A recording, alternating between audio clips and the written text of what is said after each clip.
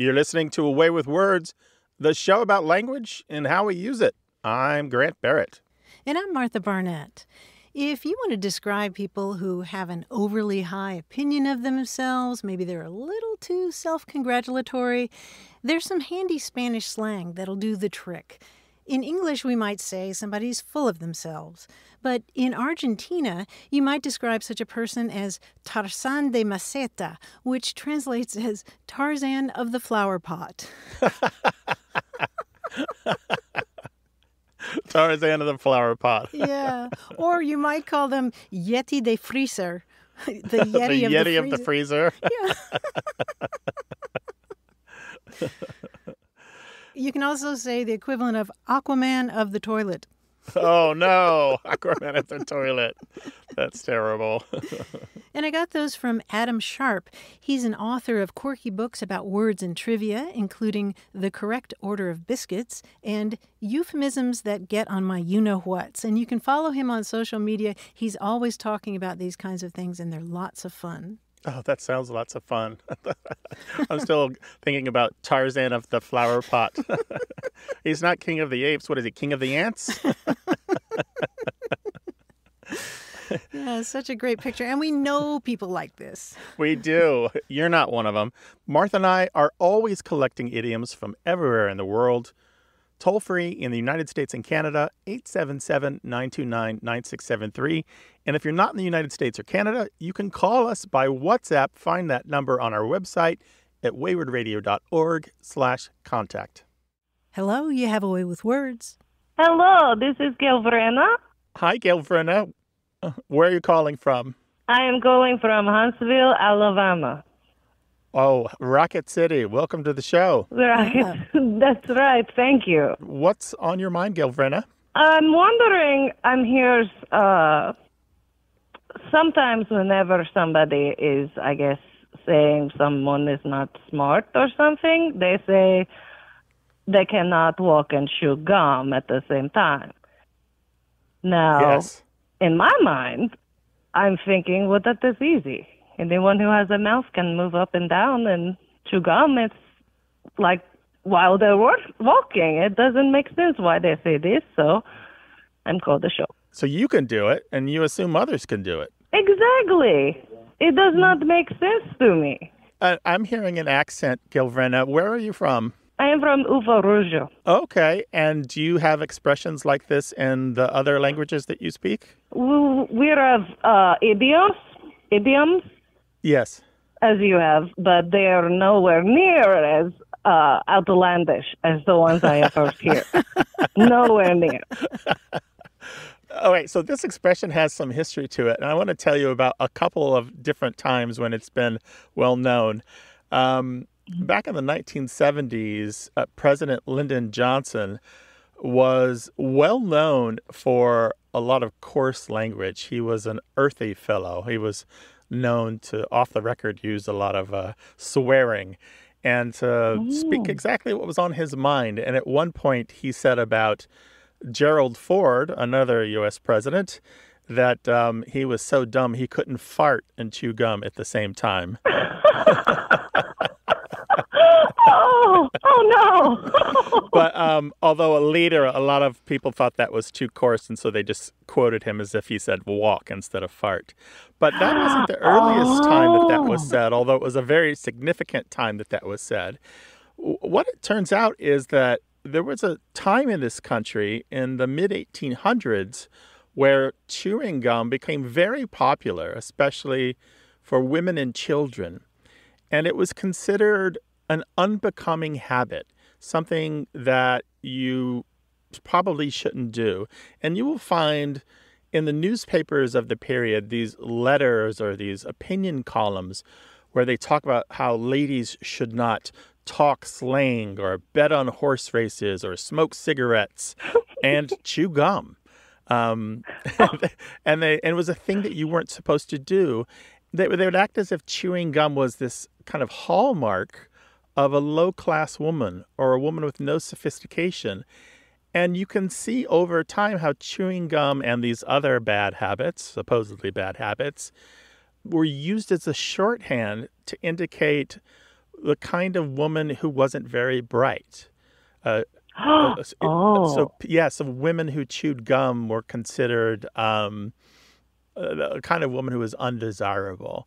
And, and that she wasn't sophisticated, she wasn't educated, she probably was never going to make anything of herself. You wouldn't want to date her or marry her. I would not last in that world. I would not. I would not.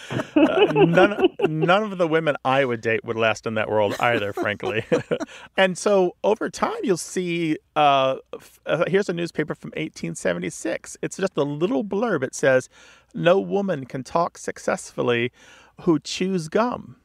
Um, and they're basically saying that women were too dumb to do both. It's just basically misogyny it's it's a time and a place where women were considered inferior to men and certain segments of society had no problem just saying it plain and over time the, the expression was broadened to refer to anyone to men and children and anyone of, of any age and gender and background and stuff. And so it stopped referring just to women but but it started referring just to, to women mostly and particularly young women um, and young women often hmm. take a lot of guff in our society because they tend to be the ones who adopt new language first and adopt new habits first and mm-hmm. innovate with fashion and, and, and that kind of thing. Mm-hmm. So they, they catch up a lot of abuse for doing things early and first. I'm agree. Yeah. They will not last in this world though. this is the world of women empowerment and it's beautiful.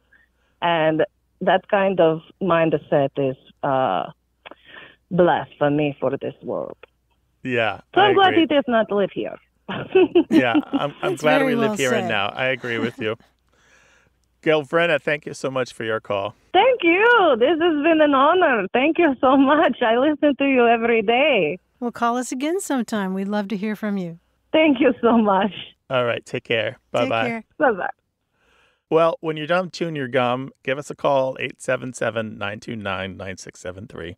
Hello, you have a way with words. Hi, this is Bob Gallis. I'm calling from Mount Airy, North Carolina. Hey, Bob. Hi, Bob. What's up? Hi. A few years back, I moved from, I lived in Kansas for most of my adult life after I got out of the Navy, and I moved to East Tennessee.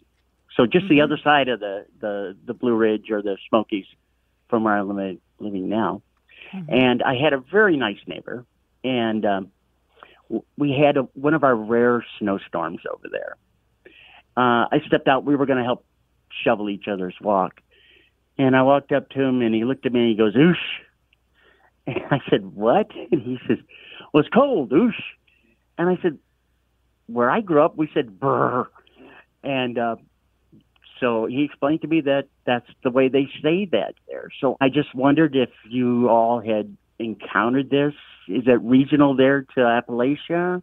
I mean, we were just right at the foothills of the Smokies there. Well, it is particularly common in Appalachia, and I do have some uh, evidence that it's heard in western North Carolina and in northern Alabama.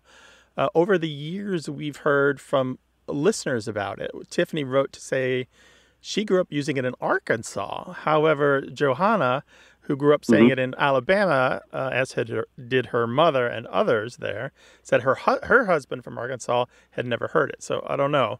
Most people that we've heard from and that I've been able to find either are from North Carolina, Appalachia, or northern Alabama. There's a, a biography by a woman named Cleo Hicks Williams called Gratitude for Shoes Growing Up Poor in the Smokies. Uh, and she includes Ah. Oosh and Ooshi. And she was from Cherokee County, North Carolina. And there's a, a blog, a wonderful blog called Blind Pig and the Acorn uh, by Tipper Oh, Pressley. okay. And it's all about Appalachian culture. And she's got a, a great entry uh, that includes mention of Oosh and Ushi. And she and her commenters all talk about whether or not they use it. And a number of people know it. And they're from different parts of Appalachia. And uh, one person says they use Ushi Bushi to mean very, very cold. Oh, So it is out there. None of the major books that I have, none of the big dialect dictionaries include it. But there's enough evidence out there that we can draw a little bit of a dialect map and Uh-huh. say that it does exist and kind of pin it to a geographic region. So it is a thing. oh.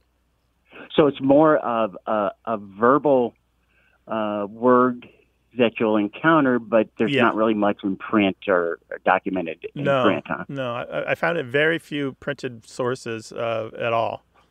Well, Bob, what I want to know is does does oosh work better than burr? Because when I'm really cold, making a noise like that helps me feel like I'm a little bit warmer. Does one of them work better than the other for you?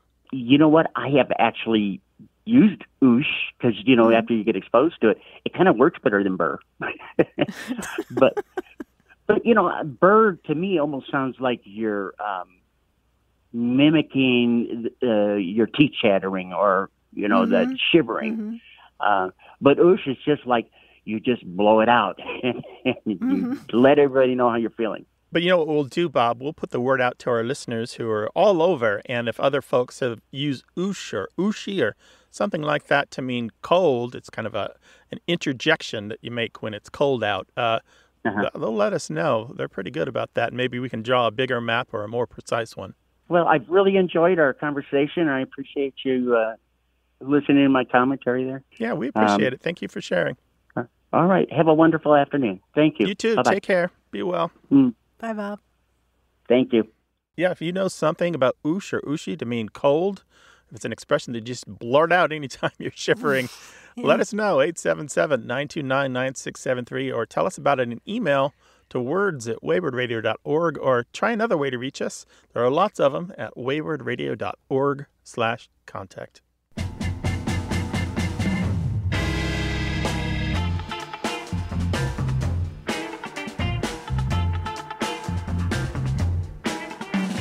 Kevin Helgard of Havre, Montana sent us a great email about misunderstandings.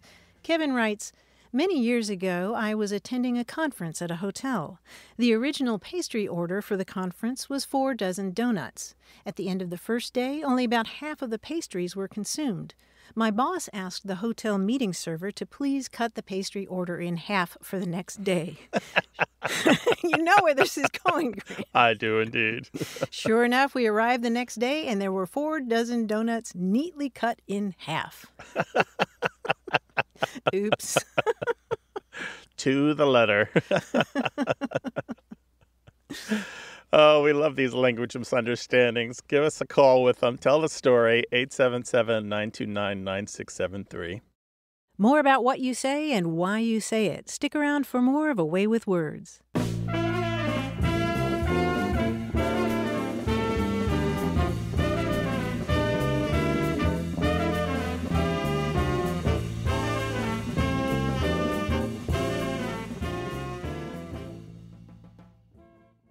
We make thousands of decisions every day, and by the end of the day, the last decision we want to make is about what's for dinner.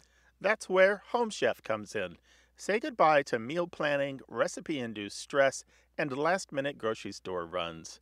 Let Home Chef bring simple, delicious, home cooked meals right to your door. Home Chef can make your nightly routine easier and mealtime more exciting with a wide selection of delicious meals that arrive when you need them in the form of fresh, perfectly proportioned ingredients and an easy to follow recipe card. If I don't have time and don't want takeout again, with Home Chef in a snap, I have a hot meal that meets my family's dietary needs. Home Chef has 15 minute recipes, microwave meals, and oven ready options. Plus, cleanup is a breeze. For a limited time only, go to homechef.com slash words for 75% off your first box. Again, take yourself to homechef.com slash words for 75% off. You're listening to A Way with Words, the show about language and how we use it. I'm Martha Barnette. And I'm Grant Barrett, and here he is, the fabulous quiz guy, John Chaneski. Hi, John. Hey, Grant. Hi, Martha. Hey. I have a quiz for you today that is a little more straightforward than most. No tricks or jokes. It's a quiz about one of my favorite kinds of words, demonyms. You're mm-hmm. familiar, I'm sure, with demonyms? Mm-hmm. D E M O. Right. NYMS. NYM, yeah. Mm-hmm. Do either of mm-hmm. you want to explain what a demonym is? Sure, it's a it's a place name, more or less, right? Or mm-hmm. it's actually the thing that you call the people who are from a place. Right. Right. So to refer to a- American is a demonym for people from the United States of America. That's right. For example, you both live in San Diego, so you are both San Diegans, yes. San Diegans, Yes, right? right. I live in Brooklyn, New York, so I am both A Brooklynian and a Brooklynite. a Brooklynite or a Brooklyner, Brooklyner, yeah. Okay. and also a New Yorker, right? I'm going to see how much you know about demonyms for people from different countries and cities. We'll primarily look at forms that are irregular constructions. For example, someone from Boston is a Bostonian. That's a common construction. Sure. But the people who live in nearby Cambridge are known as what? Cantabrigians? Cantabrigians, right. Nice. And the, the ones in the English Cambridge share that same, that same name, right. Mm-hmm. First, we'll try some irregular demonyms that are very common and somewhat well known. If you're from Dublin, you're a Dubliner. But if you're from Glasgow, Glaswegian. Glaswegian, right. Now, the U.S. government printing office recommends the official demonym Indianan for someone from Indiana, mm-hmm. but Indiana residents prefer what? Hoosier. Go big red! Go big red! Nice.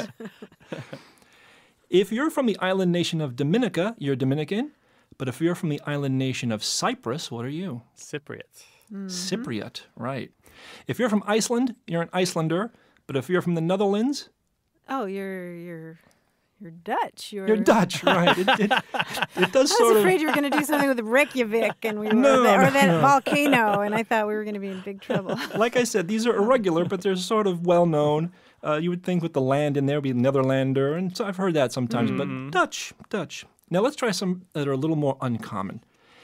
What about people who live in Munich? Um, munch. Uh, Not Munchkins. Oh, not, you're not far off. Is it? Munkins? No, it's Munchners. Munchner. Munchner. Munchners, yes. What are people from the nation of Kosovo called? Um, Kos- Koso- Kosovars. Kosovars, yes, Yeah. very good. People from the United Arab Emirates have their own demonym. What is it? Emiris? uh, oh, I don't know. Close. Emirates? Emirates? Close. It's Emiratis. Emiratis. Ah. E M I R A T I S. Nice. Emiratis. Very good. Right. Now, here are a few that to me are rather unusual. Let's try them out. Okay, oh, great. now these are the unusual Yeah, these, ones. these are the unusual ones. All right. From the halls of Montezuma to the shores of Tripoli, where you will find what people? I don't I'll, know what. you, I'll, I'll tell you this one. It'll help you get the next one. It's Tripolitans. Really? Hello? Yes, Hmm. yes. Tripolitans. Tripolitan. Now here's the last one. This this last one that one will help you get this one. Similarly, if you're from Minneapolis or Indianapolis, what can you be called? Indianapolitan? Yeah, Indianapolitan or Minneapolitan. Minne- Minneapolitan. Of course, Oh. you could be called that if you can get, get somehow manage to get it out of your mouth. But uh, yeah, you guys did very well. Wow. That was a lot of fun. Thanks for having me here. Thank Thanks you, for, thanks for the quiz, John, as always. If you've got a question about wordplay, grammar, puzzles, a thing that you think you can stump us with, call us 877 929 9673 or send it an email to words at waywordradio.org. Hi there. You have a way with words. Hi, this is Joe Montani calling from Tucson, Arizona, the old Pueblo. Hi, Joe. Welcome to the show. Thank you, Grant. You know, well, I tell you what, I'm a scientist here, an astronomer. Oh, and, really? uh, That's cool. We, uh, of course, you know, coming up in, in science, we have a lot of uh, contact with mathematics and out of necessity and, well, because it's fun also. But I have a question that's been on my mind for many years, even though I've had uh, plenty of opportunity to talk with mathematicians and other scientists. I never put this question to them, nor have dictionaries or other sources of etymology been able to help me. And that is the word odds. O D D S. Now, I mean, I'm not a gambler or a gamer or a, uh, you know, one who wagers. So I've never really used this in a practical way. But of course, we know that well, it's the ratio of probabilities. You know, one outcome of something might be probable to a certain extent, another one might be probable to another extent, and the ratio of those is the odds, which one will win out. But where, where, oh, where does this word odds come from? You know, again, in math, we know there are even numbers, odd numbers, but I doubt it has anything to do with that, but I'll be delighted to learn otherwise, or, or if that is the case. Any ideas? It, it does. It does come from odds and evens. All right, let's say you have two stacks of coins, and they both have 10 coins in a stack. Across the top, they're perfectly even. If you take one ah. coin off of one stack, now they're uneven. They are, one of the stacks is, is now odd. All right, let's say that you have four stacks, and one, one of the stacks um, has one fewer coin than the other three stacks. It is the odd stack. it's unusual. It's odd, right? It's literally that same odd. So it's different. And so what we're talking about here is something that as as odd is unusual, it's different. And it starts out as the opposite of even. And odd uh, came to refer to the difference between anything, uh, any two things or more than one thing, um, to indicate that something was unequal. And that's what's happening, just like you said, in gambling. The odds is the ratio, that is the difference for and against a certain position in the outcome of what is being bet on. And so when we talk about the odds for and against something, that's exactly what we're talking about. What is the what is the outstanding different um, part of this wager? What is the outstanding? Uh, what is the unequal um, position that that we might take that something will or won't happen? It's all about what's different or what's unequal. So it is odd. It's unusual. Okay, Grant. That does shed some light on it. And uh, see, I hadn't really considered that it would uh, land on both sides of that question. That is, that it would have a connection with the mathematical fact of something either being odd or even as a number, and and, and here's the big end, that it had something to do with the oddness of its strangeness of or, or the difference between things. That's so interesting. Yeah, when when words develop new meanings, sometimes they become abstracted from their source, and so they mm-hmm. seem they seem odd. they seem unusual and strange. But once we look into the the path that they've taken to go from meaning one to meaning two, it starts to make more sense. And and then you kind of have your aha or eureka moment.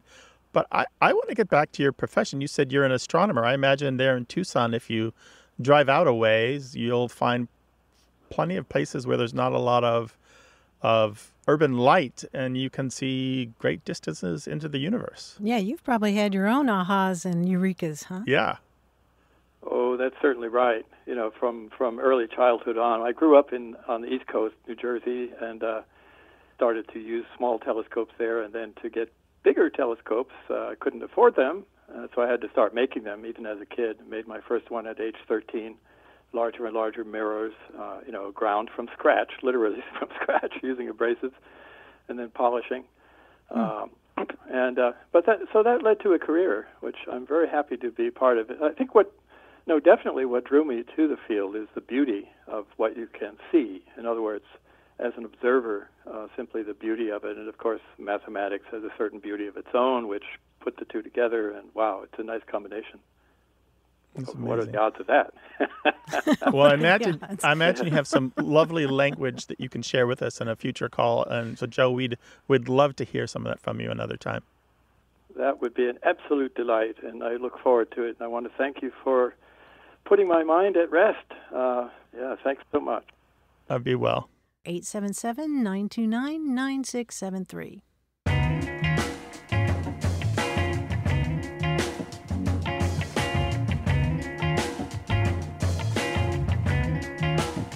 The other day, David Finfrock of Dallas, Texas, sent us a photo of a sign for the Sierra Madera Astrobleme. And he knew that we would be excited about this, or at least I was, because I had no idea what an Astrobleme was. Sierra Madera Astrobleme? Astrobleme. That is an amazing sentence. that is an astonishing series of sounds. The Sierra Madera Astrobleme. That's surely a space traveling vehicle, right? Well, an astrobleme, it turns out, is a meteorite crater. It comes from Greek words that literally mean star wound. Oh, like blemish. Bleem is in blemish. N- they're not related. I looked no. them up because that's what I thought. Bleme in uh, Greek is a wound caused by a missile. Wow. I that's know. astonishing. Sierra Madera Astrobleme. And where is it? It is uh, in southwestern Pecos County in Texas. And don't you just love that David saw that sign and knew that we would be all excited about it? Thank you, David. You made my day. Maybe several. Send us signs you've seen. Words at waywordradio.org. Hello, you have a way with words. Oh, hello. Nice to nice to be here. This is Anna. I am calling from Seattle, Washington. Hi, Anna. How are you? Hi.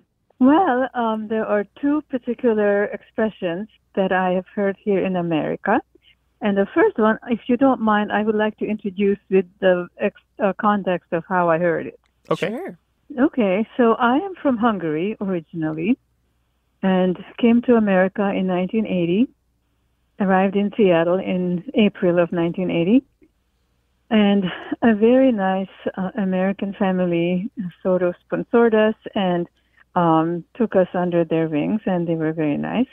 And one day, I was only three weeks in America, and my English was not very good. And I, all I had, I was 20, and I had two years of high school English under my belt. And one morning, I was uh, standing in a doorway, and the the father of this family came towards me um, with a big smile on his face, and uh, coming down towards me, and very loudly he yelled, "How is it hanging?" and I was mortified. like, how is what hanging? Um, I don't have anything hanging. Um, should I have something hanging? Uh, am I in trouble? Um, so by the time he reached me, I figured, okay, this is some sort of greeting. But I was so confused. And I've never heard this since then, but I've never forgot it. And I would really like to know how this, a line like this came to be a greeting. Yeah, so the, the question "How's it hanging?" is not a, really a formal greeting. It's uh, it's not something you're going to hear uh, when you when you talk to the president or or uh, or your boss or something like that. Um, Uh-huh. And you know, if you if you look at at uh, dictionaries, they'll explain that it's it was originally described as a man to man greeting, if that makes sense. Oh, that does make sense. It's moved beyond that. It's no longer man to man. It's now Yeah. more widespread and it's kind of lost Yeah. the gender Okay. connotations. Right. Uh, but I have not heard it since then, and so um, so man to man, that does make sense. Okay, well, thank you. Another one with the same family, we spent our very first Christmas with them, and they kept talking about trimming the tree. And I was also very confused, like, why would you want to cut off the branches of a tree that you're about to decorate? Right. And did they give you an explanation for that? I, I, I don't think I asked them. I was just sitting there confused, and I watched them as they are decorating the tree. And later I came to understand that the, the trimming itself meant the decorating. But still, the, the expression to this day confuses me. Well, Anna, you've you've actually zeroed in on a really interesting word because the word trim in English probably comes from an old English word that meant to make firm or make strong or or to Oh. arrange or prepare. So for example, you may have heard people talk about how you need to trim a sail on a boat. And that means to adjust the lines on the boat that are attached to the sail to Oh. adapt to whatever conditions uh, there are. Or or if you're in good trim, you're in good physical condition, you're ready for anything. And in the same way, if you're making a Christmas tree ready for the holidays, you trim it. Or or think about Thanksgiving. Oh. You know, you you have turkey with all the trimmings. All the trimmings. Mm-hmm. Yeah. Mhm. It's what we call in English a contronym, uh, which is a word that uh, can have two different meanings uh, for various historical reasons. For example, the word Uh-huh. cleave. You know, a meat cleaver separates things, but you can also cleave to an idea, cleave to a spouse. There are several words in English that uh, that do that. For example, if you're making Christmas cookies, you might dust the cookies with uh, powdered sugar. Mhm. But if if you're dusting your house, you're not spreading dust all over your house. You're taking away the That's dust. right. You're removing the dust. So Right. cool. What a wonderful language. I love English. Anna, thank you so much for sharing your stories with us and call us again sometime, okay? Thank you very much for your enlightening explanations. All right. Take care and Thank be you. well. Bye bye. Bye bye. Take care. Bye Anna. bye. There are lots of ways to reach us on our website at waywordradio.org slash contact, where you'll find all of our past episodes and information about A Way with Words events. Hello, welcome to A Way with Words. Hi, I'm John Coons. I'm from uh, Duffield, Virginia. Hi, John. Welcome to the show. I guess I'll put it this way. Here's the picture. Uh, there's a bunch of Englishmen sitting at the pub, and they're all raising their glasses or their mugs of ale to some to someone or something, and they say, "Here, here, here, here," and why here, here? What what does that mean? You know. So that's what I that's that's what that's the question. Well, John, I guess the question is, how do you think they're spelling here, here? Well, no, I, I I've been preparing for this call, and I I, I was going to tell I was going to tell I forgot to tell you I, was, I said I don't know if it's H E R E or H E A R. I I'm I'm assuming it's the first one H E R E. H E R E? No, actually, it's the other one. It's short for Really? hear him, hear him. And it's an old expression that people would use to call attention to what somebody is saying. You know, somebody's saying something important, and, and people would say, hear him, hear him.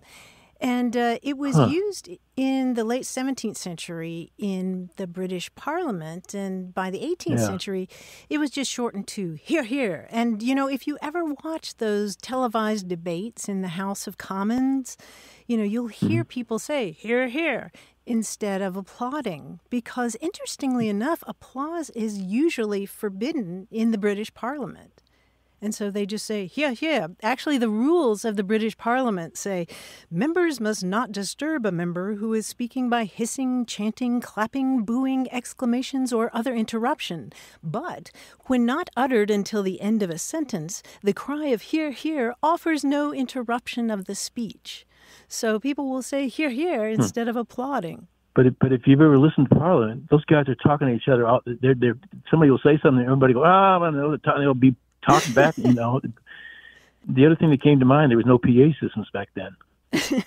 There were no PA systems back then, um, but you're right about um, that noise that you hear in Parliament. Sometimes people use "hear, hear" um, in a negative way, just just making noise. Hear, hear.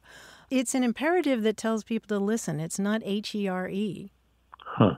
Okay. It's a, more of a command. Yeah, in fact, you'll see that command in the King James version of the Bible in the Second Samuel. Yeah, a woman says "hear, hear," and then she goes on to say something to the people of the city. Oh, well, that makes that makes that makes sense too. Okay, okay. Well, I was wrong um, a couple of times. Ah, no, Happens no to the best worries. of us. yeah, no worries. It's, it's all good. John, I thank you so much it. for talking to us. We really appreciate it. Thank you. Thanks, sir. Thanks, John. Take care. Be well. Bye bye.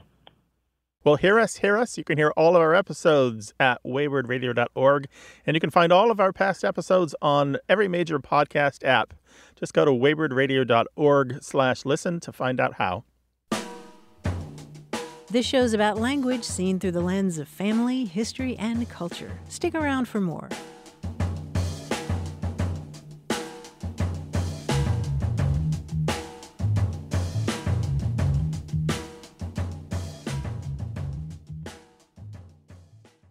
You're listening to A Way with Words, the show about language and how we use it. I'm Grant Barrett. And I'm Martha Barnette, and this is the book that I am recommending to anybody who will listen if they love language. It's called The People's Tongue Americans in the English Language. It's edited by author and academic Ilan Stavans, and it's this beautifully curated compendium of 450 years of English as it's been spoken and written in what is now the United States. Now, these are all original texts. They're from essays and articles and poems and songs and speeches and book chapters and more.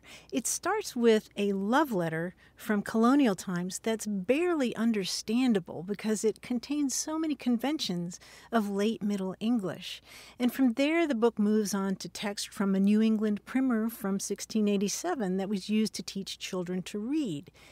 And the collection moves up on into the present, into what Stavans calls the ruckus of polyphony. And what a ruckus it is. This is a sweeping look at so many writers and speakers, so many views about language. And just to give you a taste, there's Noah Webster on spelling reform, there's Thomas Jefferson on the usefulness of neologisms, there's Simon Pokagon, who was one of the most prominent Native American writers of the 19th century. And he writes about the limitations of translating indigenous words into English. And then there's Thomas Hopkins Gallaudet on the beauty and eloquence of sign language, and Walt Whitman on slang, Emily Dickinson, Sojourner Truth, Mark Twain, Bret Harte, James Baldwin, Isaac Bashevis Singer, Zora Neale Hurston, William Faulkner. There's Toni Morrison's magnificent lecture accepting the Nobel Prize for Literature. There's David Foster Wallace on grammar and usage. And there's Korean American novelist Chang Rae Lee's description of watching his mother struggle to learn English, and also Amy Tan on how her mother's Chinese accented English affected her own. And Richard Rodriguez gives a sensuous description of the difference between the sound of Mexican Spanish that he heard at home and the English that he heard out in public Louise Erdrich on learning Ojibwe, Jhumpa Lahiri on learning Italian, a gorgeous bilingual sestina by Dominican American poet Julia Alvarez. There's Adrienne Rich and Susan Sontag and Tony Kushner and Ilan Stavans himself, who's a Mexican American writing about Spanglish. There's Bob Dylan and Kendrick Lamar. Grant, this is this is this exuberant, rambunctious, glorious melange of of English as it is spoken and written uh, in the United States. It's just what, what I recommend is just keeping it close to you and reading uh, a chapter a day. They're, they're relatively short and uh, it's just delicious. Martha, your book recommendations rarely steer me wrong. And When we do disagree, it's for obvious reasons, just because of things like taste, our taste in fiction. But this sounds like something that you and I will 100% agree on. Give me the title again. It's a new book and it's called The People's Tongue Americans in the English Language, edited by Ilan Stavans. We will link to this on our website. We love it when you send us your book recommendations. Martha and I are constantly figuring out how to fit more books on our bookshelves and bedside tables please send your book recommendations to us and maybe we'll share them with everyone else. Words at waywordradio.org or tell us on the telephone. 877 929 9673 is toll free in the United States and Canada. Hello, you have a way with words. Yeah, hi. Hi, Martha. Yeah, so this is Jerry, and I'm calling from uh, the beautiful Shenandoah Valley in Northern Virginia. Oh, lovely. Well, welcome to the show, Jerry. What's on your mind today? Thank you about 50 years ago, I uh, I was working on a ship, and I happened to work with a with a bunch of, a bunch of Aussies, a bunch of Kiwis, and uh, I heard you guys talking about some Australian words the other day, and uh, there was uh, I learned a bunch of words while I was with them, which is I used to call it a pipe wrench, but they called it a stilt Stillson because that's the guy who made it. Wrenches they call spanner adjustable wrenches they called shifters. But my Aussie friends had this phrase, and the phrase was fair dinkum. And I have always wondered where did that ever come from? fair dinkum. So, what context would you hear this in? So, fair dinkum is something that is absolutely 100% authentic beyond any question. You're just you're standing behind it. You're saying, "Oh, this is it." That wow, you know, he's a fair dinkum stand-up guy. Kind of oh of yeah, that's a classic one. Yeah, a fair a fair dinkum Aussie is a, an Australian of the most ideal kind, right? Absolutely, and I worked with some of the greatest. Did you ever hear someone called a fair dinkum drongo? Nope, never heard anything like that. A fair dinkum drongo is the worst sort of person, uh, just the worst sort of simpleton. Oh, okay. so yeah, fair dinkum. Yeah. That's a that's a classic Australianism, uh, and and as you said, used a little bit in New Zealand by the Kiwis. Um, a classic, classic, classic expression. It's two words: F A I R and D I N K U M. And we really should focus on dinkum because other words can appear in front of dinkum. So you could have straight dinkum or fair, uh, square dinkum as well. And yeah, I figured both... out fair. I knew I figured fair had to be pretty yeah, fair. yeah, but fair dinkum is the most common one. But square dinkum or straight dinkum, dinkum uh, originated in English dialect in Lincolnshire and Derbyshire, um, and migrated with people from those regions to the Antipodes. And while it fell out of use in England, it continued to be used and grew in use in Australia and New Zealand. And originally it meant work or share of work. So you might so saying something was fair dinkum, you meant kind of good job or it's a, a, a well done. Um, and it's had a lot of variation uh, and there's a lot of subtlety in its use in Australia. But in general, like you said, it means authentic, on the level, legitimate, honest, and it can be used as an intensifier uh, just to emphasize something. Uh, so that's the fair dinkum truth. It means that is definitely the truth. But it's just its own word, or how did it get yeah, from it's its Old own word. English that's exactly to, right. well, I guess it didn't change from Old English to anything. It's just it just means what it means, right? Yeah, we I don't mean, know. Its origins are lost in time, but it, it did come over with as a form of dialect from from the old world to to the Antipodes. Oh, I'll be darned. And I was trying to tie it into Winky Dink or something like that. which There have been attempts to tie it into Chinese, but it is definitely not Chinese. It did not come from China. I just have to be satisfied with that. Yeah, yeah. Yeah. Well, call us again sometime. Sounds like a colorful bunch of folks who taught you uh, another whole dialect. Oh yeah, yeah. It's, it's uh, well, you know, over over the years, you learn a lot of different words. All right, take care of yourself and be well. All right, thank you very much. Good All right, talking bye-bye. to you. Great. Bye. Bye bye, Jerry. Bye. You can reach us from anywhere in the world. Go to waywordradio.org slash contact to find all the different ways that you can do that.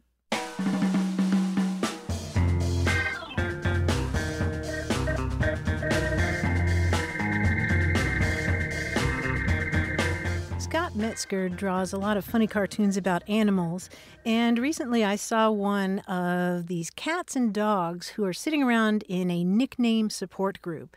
And the cat says, I went from Charlie to Chuck to Sir Chuckles McFurry Pants. And the dog says, That's nothing. I was Coltrane, then Train, and now they call me Chugga Chugga Woo Woo. And they just all look so sad.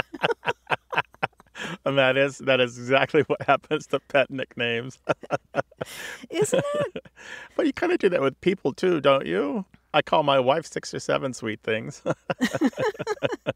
Yeah, I was thinking about this because the names that I've given to pets historically have gone through those kinds of changes, but of late it's it's more the intonation that I use. I, I don't change their names up so much. Yeah. oh, really? Okay. Well, my cat Pearl, who's a wild one, is Mhm. Pearl and Pearly Whirly and Pearl Everlasting and, Per- Pearl everlasting. and Pearly Girly and Sweet Kitty and Little Baby and Baby Kitty.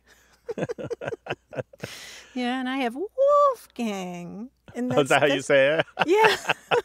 Yeah, it's just a different intonation. You know, do Wolfgang. Maybe I'll try that and see if he responds. But you know what? We've we've talked about this years ago on the show. I think it would be funny to hear what uh, what other people experience in terms of changing your pet's name. Yeah, what's the path your pet names have taken? They started so simple and then they got complex. 877-929-9673 or explain the whole sordid history in email words at waywordradio.org. Hello, you have a way with words. Hello, my name is Daniel. I'm from Nicholasville, Kentucky, and thanks for having me on. Welcome to the show, Daniel. What can we do for you? Well, my father was raised by his grandfather in rural Madison County, Kentucky, and he had lots of sayings that he used as a farmer and a shop owner. And one of them was when my dad got in trouble, he'd say, You're in deep yogurt. And I was just wondering where that came from. Deep yogurt. Was that a special kind of trouble that he was in or it was just regular old trouble? It, it was just regular trouble. Okay. Yeah. And how deep was that yogurt? I don't know. Uh, he was a milkman. Oh, was he now? Okay. Yes. So he knew yogurt. You know, I'm thinking about all the other terms, Daniel, for this sort of thing. I'm wondering if being in deep yogurt is worse than being in deep doo doo, which is another. A deep I imagine it foo-foo, was a nicer way of saying that. Yeah, and we all know the the the term we can't say on the air, uh, which I think comes to mind.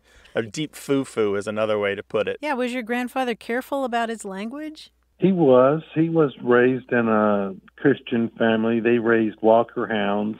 Oh, that would explain some of it. It's definitely a, a nicer way rather than using the four letter word beginning with an S. And you'll find that deep yogurt gets the point across without having to offend anyone's sensibilities. Right. But yeah, possibly by comparison to bird poo is the thing with deep yogurt because yogurt, um, does look a lot like you've been splattered by a pigeon. Uh huh. You know, if it spills on you. Okay. Yeah. Thank you very much.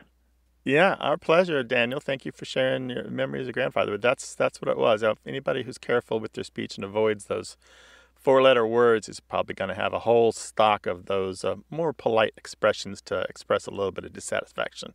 Okay. Take care now. you too. Bye. Bye, Bye-bye. Daniel.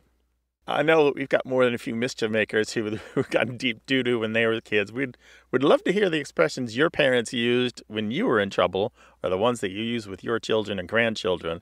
Let us know 877-929-9673. That's toll free in the United States and Canada. And if you're somewhere else in the world, you can actually still call us by WhatsApp and some other ways. Find out how waywordradio.org slash contact.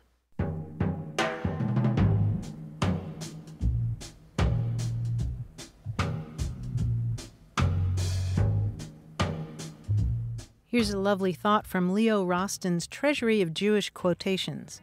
If you drop gold in books, pick up the books first, then the gold.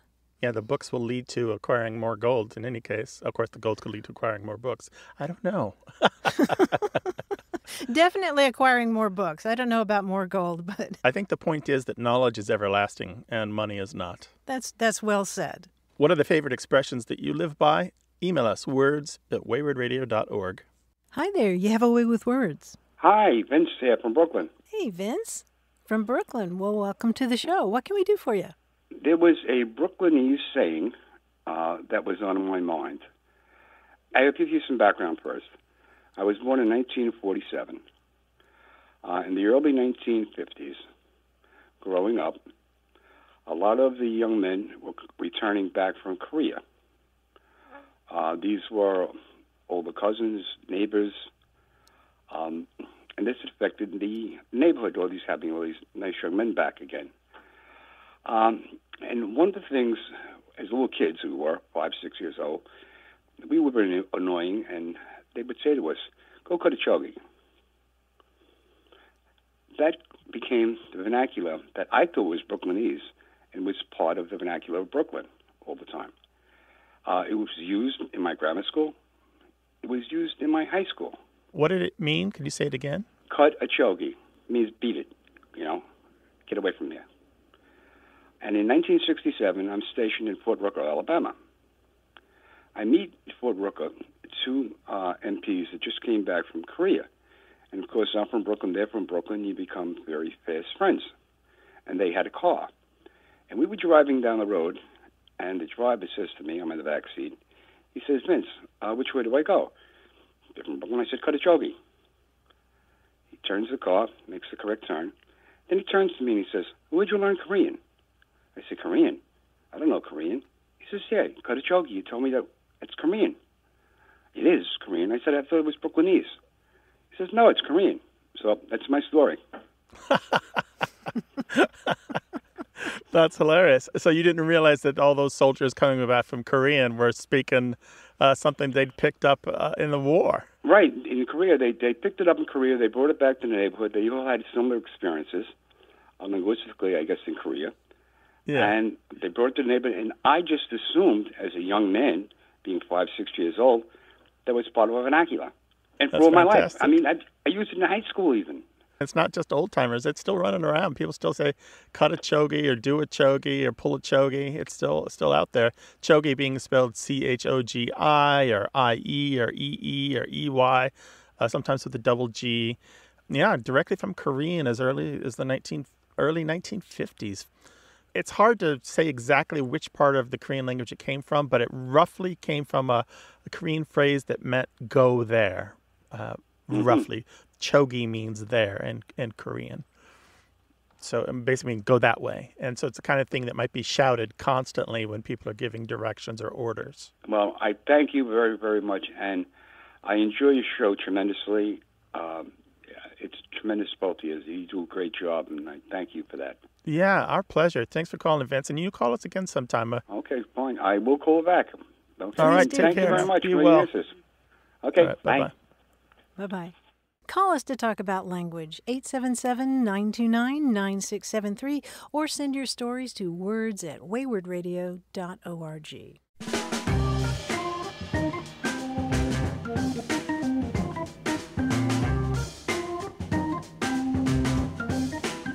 In Italian, if you're describing something really boring, you can use a phrase that translates as, it makes milk come to my knees. How weird is that? What does that mean?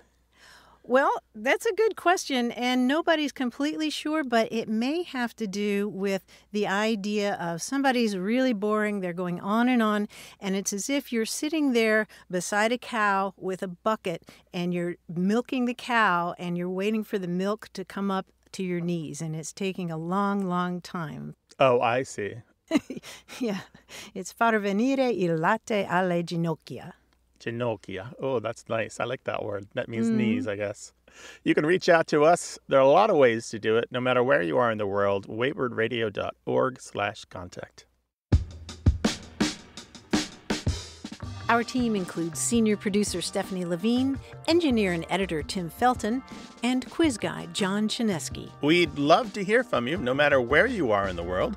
Go to waywordradio.org slash contact. Subscribe to the podcast, hear hundreds of past episodes, and get the newsletter at waywordradio.org. Whenever you have a language story or question, our toll free line is open in the U.S. and Canada 1 877 929 9673. Or send your thoughts to words at waywordradio.org. Away with Words is an independent production of Wayword Inc., a nonprofit supported by listeners and organizations who are changing the way the world talks about language. Special thanks to Michael Breslauer, Josh Eccles, Claire Grotting, Bruce Rogo, Rick Seidenworm, and Betty Willis. Thanks for listening. I'm Martha Barnette. And I'm Grant Barrett. Until next time, goodbye. Bye.